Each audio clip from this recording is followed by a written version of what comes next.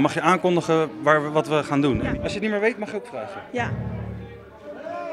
Ja, begin maar. Welkom Welkom bij bij Dumpert Filmpje Werk. Dumpen, Dumpert Dumpet Film Filmt Je Werkplek. Werkplek. Bij de Jostie Band. Goed. High five.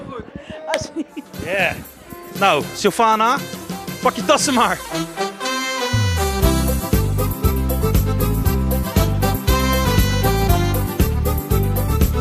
Ze lachen hem allemaal uit, joh. En vandaag is de grote dag. Het grote concert. Oh, word je verdrietig? High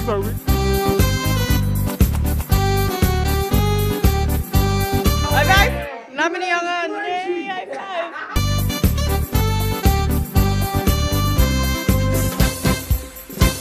Wat vind jij van Sylvana? Een lekker ding.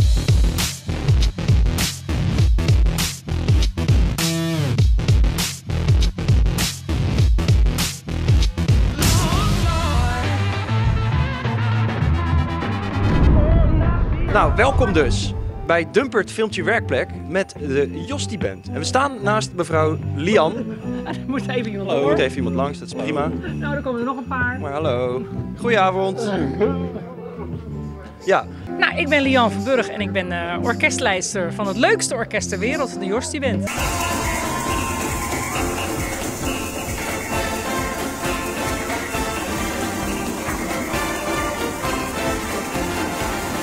Vanavond is de repetitie. Volgende week is het concert en dan is Sylvana er ook weer bij. Hoeveel mensen komen er vandaan? Eh, ongeveer 130. 130 mensen. We gaan het zien, het wordt leuk. Heeft u er ook zin in? Ik heb hartstikke veel zin in. Elke woensdag is het feest. Heel fijn. Spelen! Spelen krijgen. Slayer!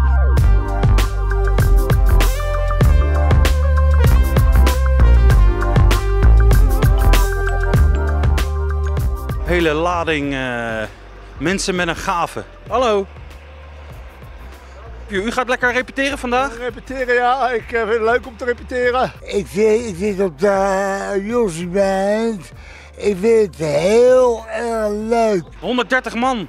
Ja, klopt, ja. Een volle bak vandaag. Gezellig toch? Gaat het helemaal goed komen? Tuurlijk, eh, helemaal top. Ik speel keyboard. Ben je een beetje goed? Ja. Ja, hè? zeg gewoon zeg, moet ik zeggen, heel goed. Heel goed. Ik ben misschien wel de beste van Ik ben Zwammerdam. Schappendam, ja.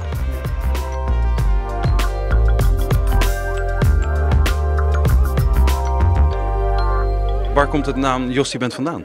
Nou, die komt van Johannes Stichting. Dat is, eh, de Jostie Band is opgericht in 1966. En dat was in Nieuwveen. En, en de, eh, dat was bij de Johannes Stichting. Nou ja, de eerste twee letters van Jo en de eerste drie letters van Stichting. Nou, heb je Jostie Band. Welk instrument bespeel jij? Ik speel uh, xylofoon. Ja? En dat doe ik al heel lang. Ja. En dat doe ik met heel veel plezier ermee. En wat vind je leuk aan muziek maken? Ik zit ook op de Jostie en ik help Leon altijd goed helpen klaarzetten en helpen opruimen s'avonds. Het is eh, een hele grote familie en eh, als er wat is dan eh, helpen we elkaar. U bent de oudste lid van de Jostie Band. Hoe oud bent u, meneer? 91. Mensen met verstandelijke beperking, die hebben dan ook aanleg om, om eh, een muziekinstrument goed te spelen. Nou ja, dat verschilt niet zoveel als, als, als jij en ik in de maatschappij. Je hebt bij ons natuurlijk ook mensen die eh, iets met muziek willen doen. Maar je hebt ook cliënten met een beperking die bijvoorbeeld heel goed zijn in decorontwerpen of in, eh, in kunst of in eh, eh, houtbewerking of catering. En hoe lang zit u al bij de ik niet.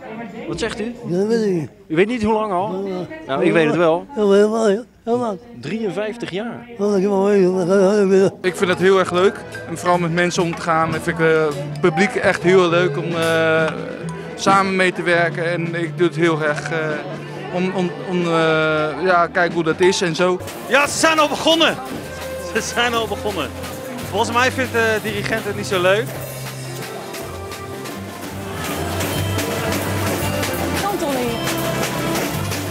Zijn ze nou weer veel te enthousiast? Nou, dan gaan ze Sinterklaasliedjes spelen. Dat kan toch niet? Ze zijn gewoon helemaal knettergek. Het is net lente. Het is gewoon, het is gewoon een heel gek orkest. Het is nog geen eens kwart over zeven en jullie beginnen alweer met die ongein. Nou, goedenavond allemaal. Ja, eigenlijk moet ik gewoon stoppen, hè, want we zouden geen Sinterklaasliedjes meer doen. Dus gewoon deur dit instrument in kap en weg.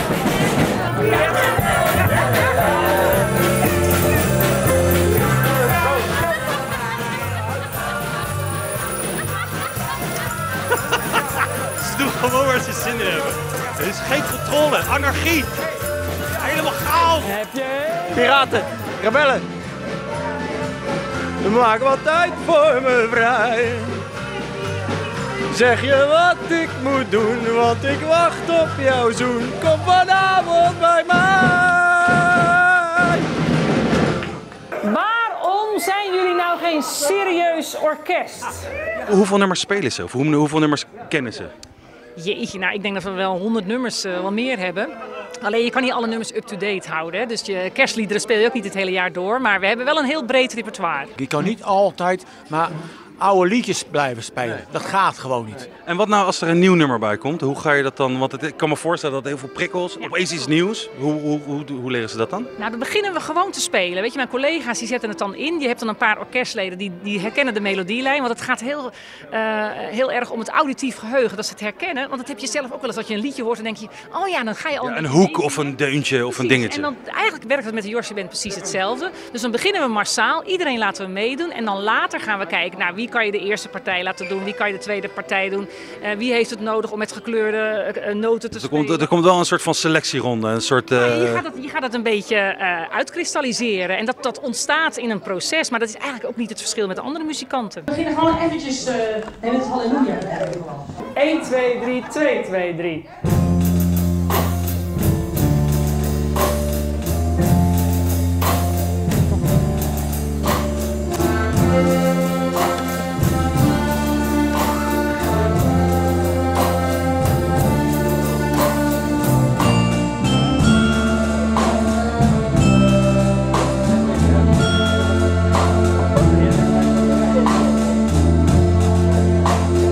Die die bordjes omhoog houden, dat zijn vrouwen die dan eh, die zitten op de keyboards. Zitten allemaal, schrik me helemaal de vinkentering. die vrouwen houden bordjes omhoog. En dan staat op de keyboard staan dan welke dingen ze in moeten drukken. Welke kleurtjes en welke letters. Jonna, eh, jij bent hier vrijwilligster, vrijwilligster en ik heb je al gezien staan met van die borden en zo. Kun je eerst even uitleggen waar, waar die borden voor staan? Wat, wat is dat? Ja, nou, dat zijn de gekleurde schijven en dat is om het muziekstuk makkelijker te maken voor de orkestleden die niet het hele muziekstuk mee kunnen spelen. Ja. En die schijven die, die corresponderen dan met dit wat op hun... Ja. Ja, zoals je ziet ehm, heeft iedere noot een eigen kleur. Bijvoorbeeld de A is wit met een zwarte rand. Ja. En op het moment dat ik dan eh, het bord omhoud met de, omhoog hou met de A, dan weten hun wat ze moeten spelen. Ja. Dus dat is dan, wordt dat voor hun vereenvoudigd, zodat Ja. ze toch mee kunnen spelen. En jij zei dat je vrijwilliger bent hier zo. Ja. is het, waarom doe je dit? Zit er een reden achter? Nou ja, ik ben hier ooit begonnen met een stage en dat vond ik zo leuk. En nou ja, je ziet het wat je ervoor terugkrijgt en de energie van de mensen. Nou ja, dat, dat, ja, dat is gewoon heel veel. Dat betekent heel veel. Iedere woensdagavond ga je weer weg met een glimlach. Komt hier, jongens. 1, 2.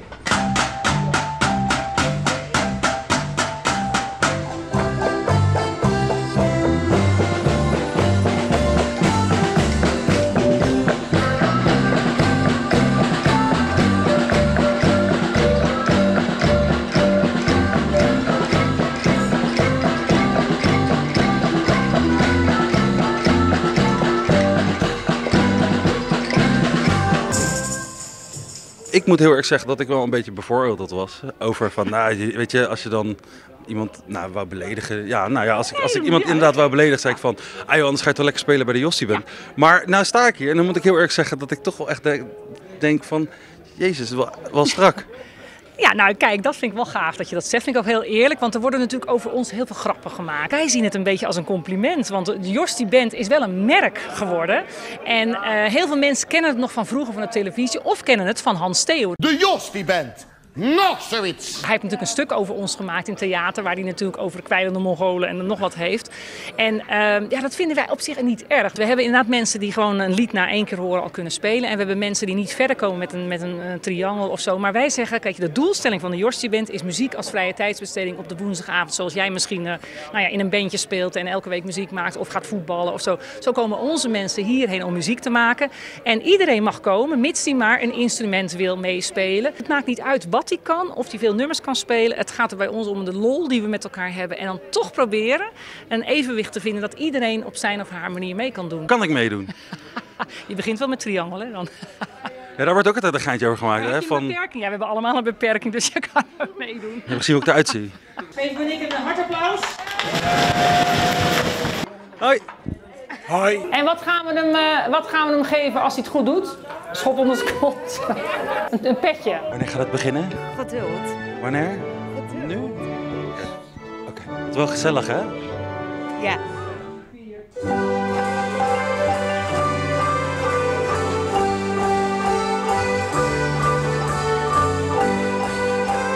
Opletten, hè? Opletten. Was dat goed? Je denkt het goed. Ja. Top. Ze lachen hem allemaal uit, joh. Oh, nog door. Denk het goed? Ja, je denkt het hartstikke goed. Hey, applaus voor jezelf.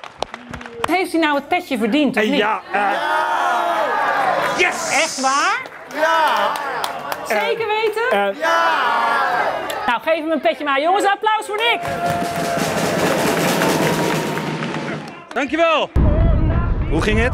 Goed. Ja. Ga je rocken met het concert? Ja, gokken ja. Ja. Hoe heet je knuffel? Eh, Ivan. Ivan. Is hij een beetje lief voor je? Ja. Ja. Ja. Wil je nog de groeten doen aan iemand? Ja. Aan wie? Aan eh, de van den Burg. Pak de camera. Camera. Lieve Jan Met, ik hoop dat ook een keer hierheen komt. Ooit. De volgende keer. Doei. Kusje van de boys. Hoe ging de repetitie? Eh, feest, leuk, gezellig, hard gewerkt, veel gelachen. Zijn ze een beetje klaar voor het concert in Nijmegen? Ah, ik denk het wel bijna. Een paar puntjes op de i zetten en dan komt het goed.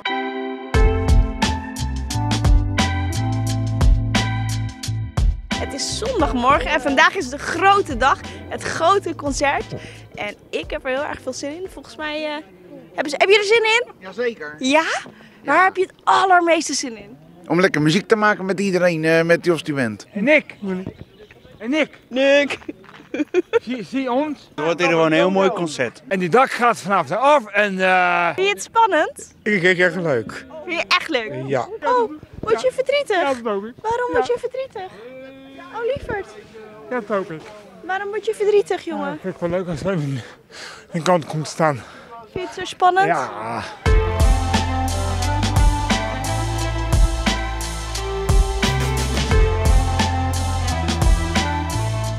Wel leuk dat jullie er voor de Joswit zijn. Dan kunnen heel veel mensen zien dat wij niet heel achterlijk zijn, maar gewoon mensen met beperkingen die normaal zijn in deze wereld. Ik hoorde net van mensen dat, eh, dat er nog soms wat vooroordelen zijn over de Jostiment. Ja, dat klopt inderdaad. Wat vind je daarvan? Je moet een keer komen kijken en als je dat niet, doet, als je dat niet wil, ja, dan heb je geen recht van spreken. Want hoor je dat vaak, dat jullie eigenlijk achterlijk zijn? Nou, heel veel mensen zien heel veel laag niveau heel achterlijk zijn. En wij zijn net zo goed als eh, jullie.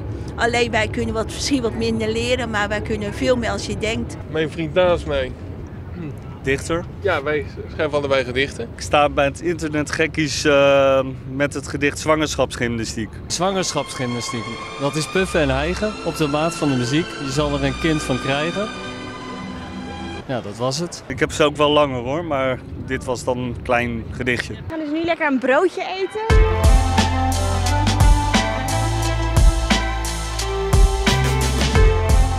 Piet, je hebt eh, het verkeerde overhemd aan, jongen.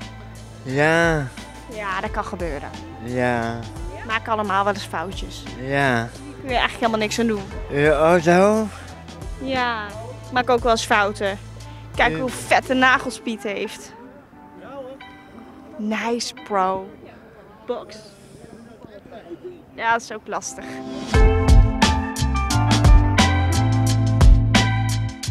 Nou mensen, als jullie dit filmpje zien van, de, hoe heet dat? Dumpert. Dumpen. Kom gewoon een keer naar een concert van de Jos en laat zien dat wij ook normaal zijn. Dus jullie hoeven niet te schamen voor deze mensen. Kom gewoon kijken, dan kun je het in je eigen ogen zien dat wij heel uniek zijn. Zo, we zijn er. We zijn in Nijmegen. Heb je er zin in? Ja, zeker weten. Knallen, hè? Ja, het feest kan weer beginnen, want wij zijn binnen.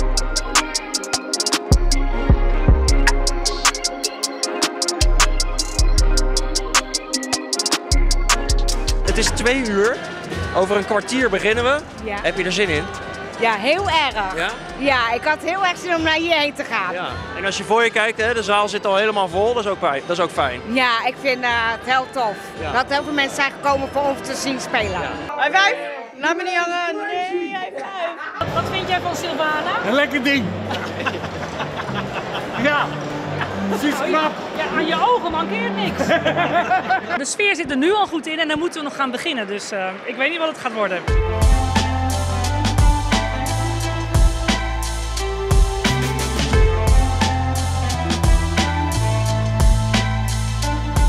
Kijk, mensen hebben allemaal een verstandelijke beperking. De, de, de, de, de leeftijd, eigenlijk de geestelijke leeftijd, is vele malen lager dan eigenlijk de fysieke leeftijd. En dat maakt het zo prettig. Het is als kinderen de onbevangenheid, spontaniteit, niet nadenken. Wat kan wel, wat kan niet. Als ik wil gaan staan, ga ik staan. En als ik dat wil doen, doe ik dat. Ze zijn heel erg trots dat zij kunnen laten zien wat ze geleerd hebben. En natuurlijk is repeteren heel leuk, daar weten jullie alles van. Jullie zijn ook geweest. Maar je- iedereen vindt het leuk om te kunnen laten zien wat je geleerd hebt. En dan zijn ze natuurlijk rete trots als ze dat kunnen laten zien en horen. En nog mooier vinden ze het als het publiek natuurlijk leuk meedoet. In de toch vrij officiële omgeving wordt het dan heel snel een groot feest. Omdat iedereen denkt, ja, kan mij het schelen. Ik ga gewoon, ga gewoon lekker Ja, meedoen. ja, precies. En Heel dat, dat, dat eh, krijgen zij voor elkaar. Gaat het ook wel eens verkeerd? Dat het, dat het helemaal in de soep loopt allemaal? Nou, we hebben wel eens gehad dat er bijvoorbeeld een verkeerde intro is. Maar dan, dan tikken we af en beginnen we gewoon opnieuw. En als het echt fout gaat, dan zeggen we gewoon eh, van dat hoort erbij. maar eigenlijk sorry. gebeurt het bijna nooit. De orkestlijster. Leon van Beuk.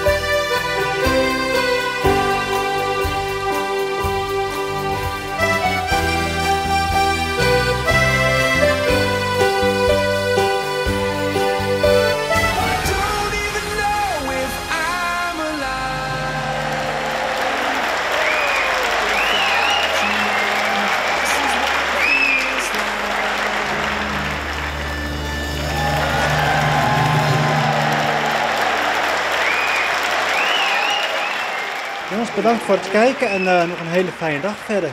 En like dit.